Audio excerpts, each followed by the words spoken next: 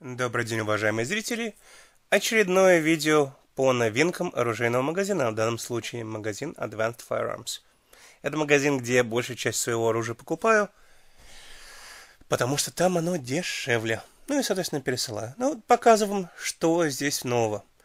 Ну, соответственно, в магазине появился очередной SCAR, в данном случае, по-моему, тяжелый. SCAR 17. Стоит вещь дорого, честно вам скажу. По а, чуть меньше 3000 долларов. Дорого по американским расценкам. В магазине также появился пистолет от фирмы Ругер. Калибре 22 LR, мелкашка, так называемый. Дешевая такая вещь, но с длинным стволом. Очень необычная такая вот вариация полуавтомата мелкашечного. И уже с сошками. Кстати, сравнительно дешево, 300 долларов всего, но это не для меня. Также то, что вас может заинтересовать, вот здесь у них ряд дробовиков, и посередине конвертирован, конвертированная э, в систему Bullpup Saiga 12. 12 калибра, соответственно. Вот так вот такая вот вещь выглядит. В ней, соответственно, уже стоит барабанчик под 20 патронов. Довольно-таки необычная вещь, я раньше такого не видел. По-моему, это комплект, который продают для тех, кто желает взять обычную сайгу, вот как, например, вот это вот, и конвертировать под bullpup. Кстати, вот это тоже, по-моему, сайга. Или нет? Нет, это не сайга.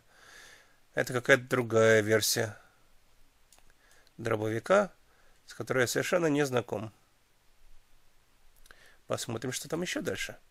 Здесь просто э, курьез. Пистолет э, от АК фирмы Century International Arms. Это так называемый Micro Draco, то есть это э, румынская вещь. Но никелем покрытый. То есть он выглядит очень-очень блестящим. Вот так вот. Тут, в принципе, конечно, много еще других калашей висит. Вот здесь вот польская версия, под ней румынская почти видна. Но хотел именно показать вот на этот пистолет. Следующим у нас э, новинка. Один из работников магазина продает свой FAL фирмы DSA. Неплохая вещь, но цена кусается 1850 долларов. Для меня перебор. Я все-таки хочу себе вот именно такой вот вариант. Здесь это 16-дюймовым стволом. Но здесь вот, например, э, ствольная коробка фрезерованная. А я хочу не штампованную, а выплавленную. Там она подешевле версия будет там 1100 долларов. То есть на 700 долларов дешевле, практически то же самое.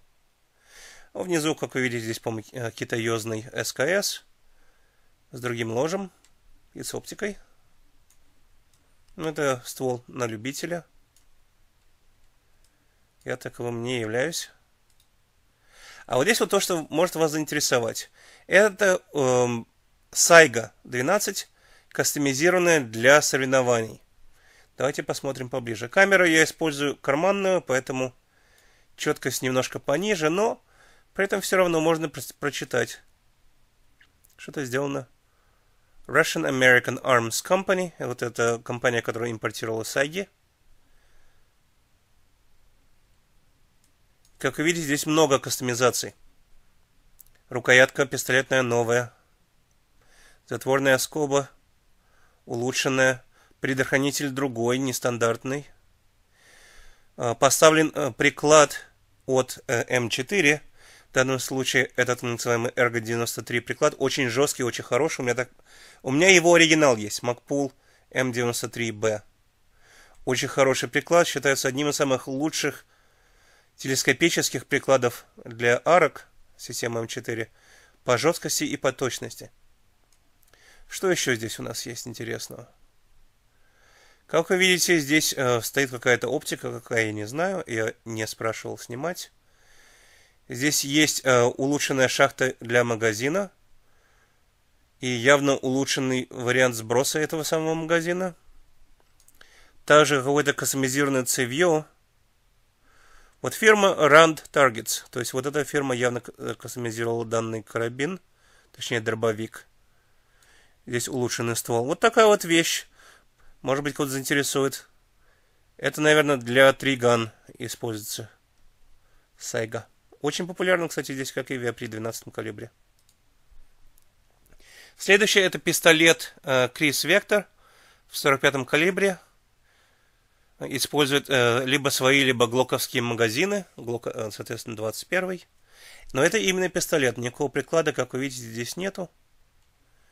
И вот такая вот вещь продается как пистолет с коротким стволом, без приклада.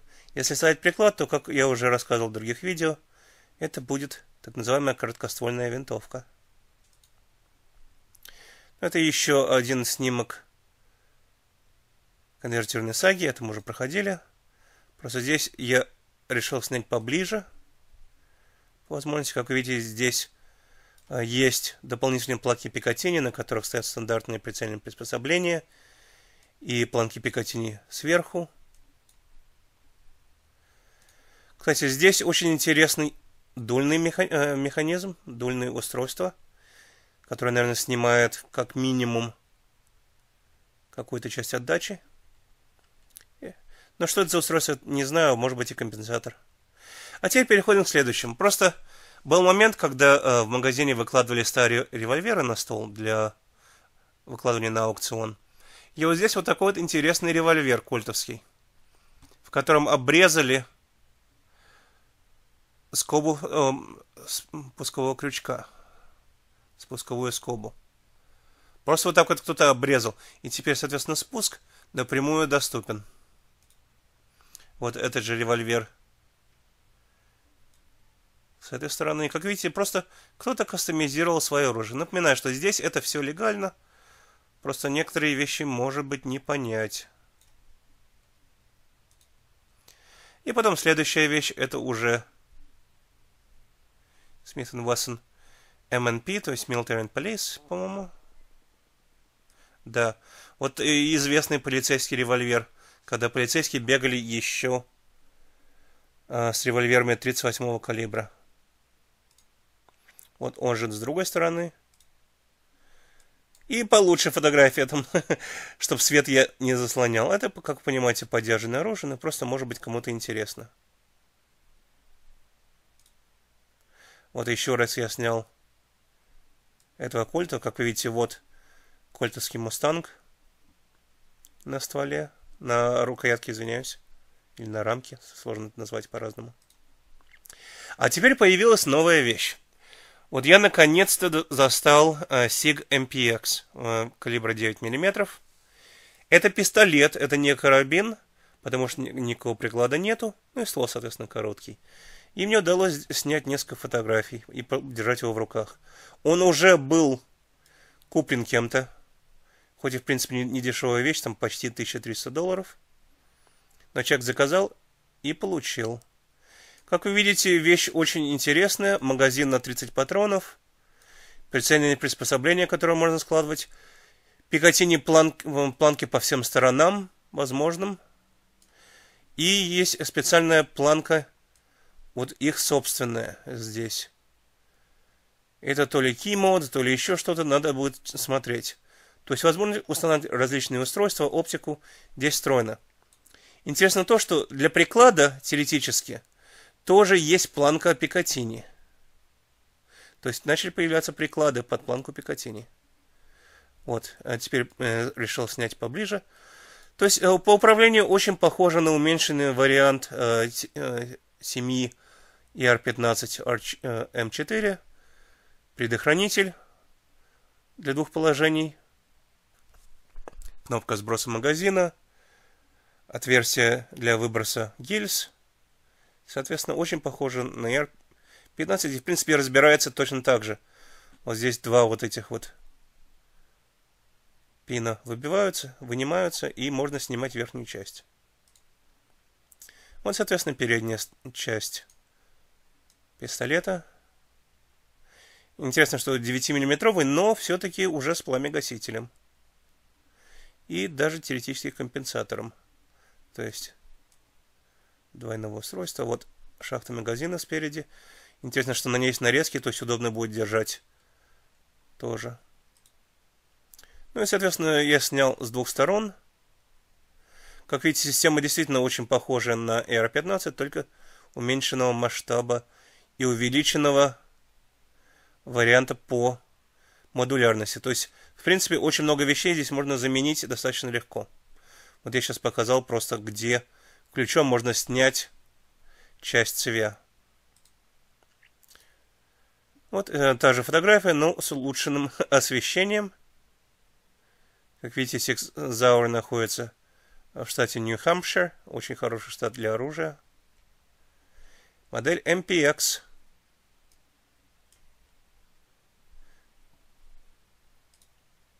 И вот общий вид слева. А теперь я попытался снять прицельное приспособление.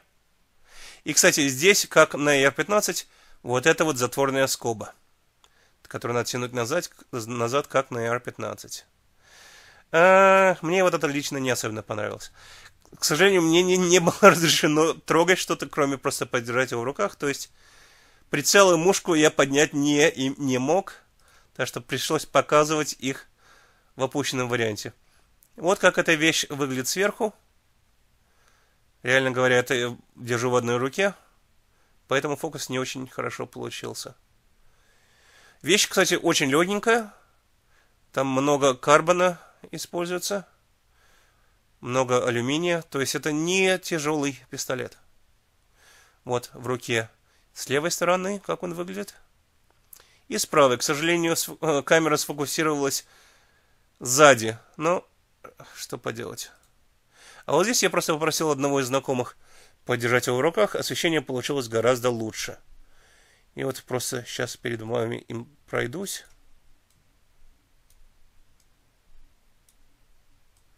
Как видите, облегченное цевье, короткий ствол,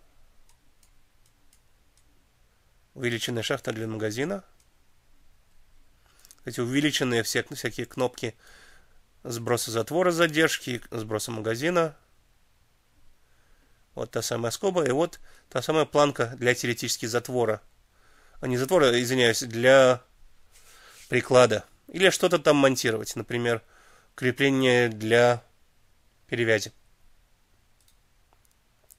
Следующая вещь, появилась э, очередная новая версия M4 от Бинелли.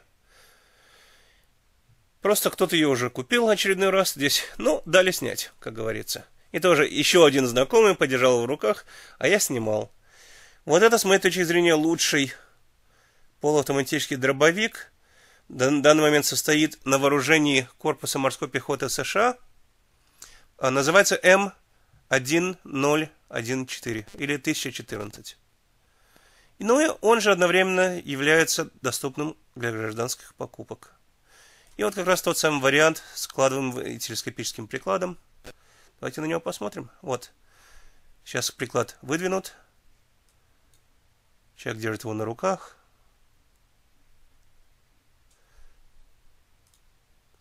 Вот этот приклад поближе. Как видите, здесь есть возможность им управлять. И, кстати, вот эту деталь можно поворачивать как направо, так и налево. То есть для регуляции щеки можно менять не только вертикально или горизонтально, но еще и угол. Вот как это выглядит на всю длину. Данная версия с удлиненным магазином немножко. Есть версии покороче просто. По-моему, это стандартный М4. Есть еще более новая версия, но я ее не видел.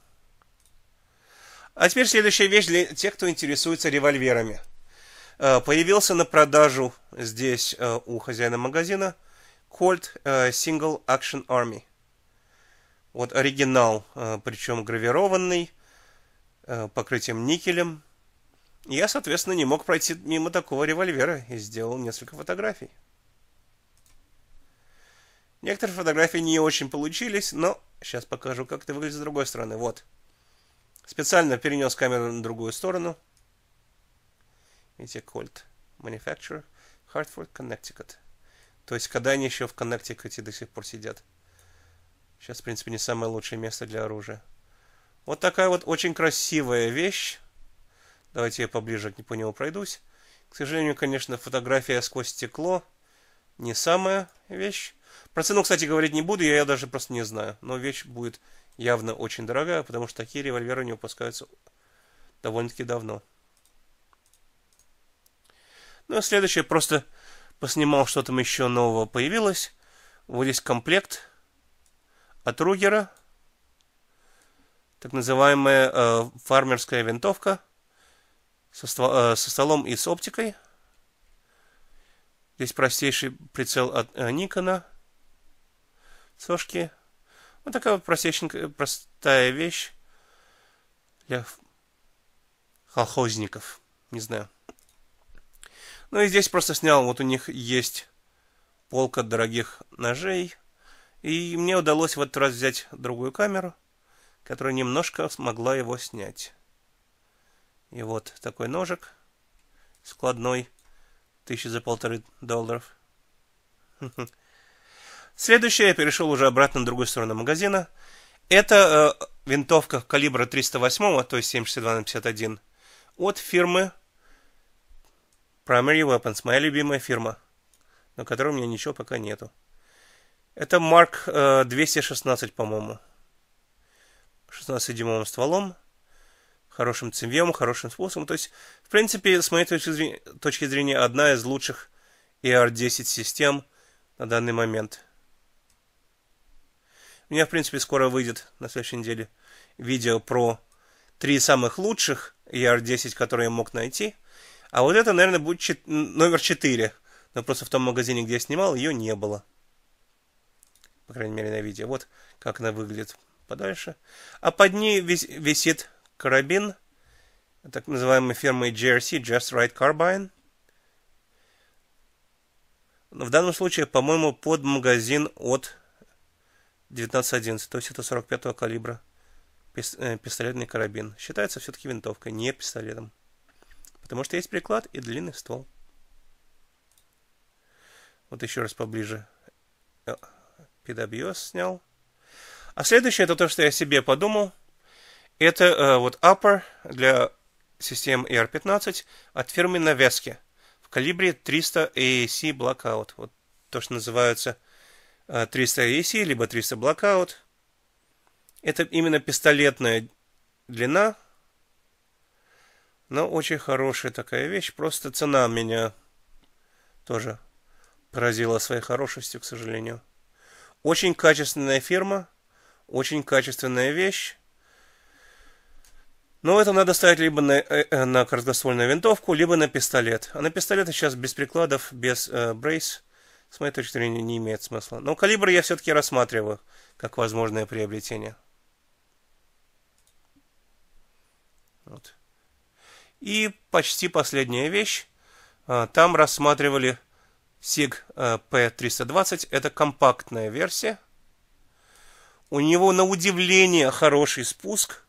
Вот из всех страйкеров, с моей точки зрения, вот э, только три страйкера имеет смысл сравнивать по спуску. Это Walter PPQ, HNK VP9 и SIG P320. И причем неизвестно, кто из них выйдет победителем.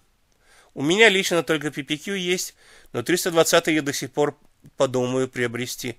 Потому что на, на удивление хороший, плавный и короткий спуск.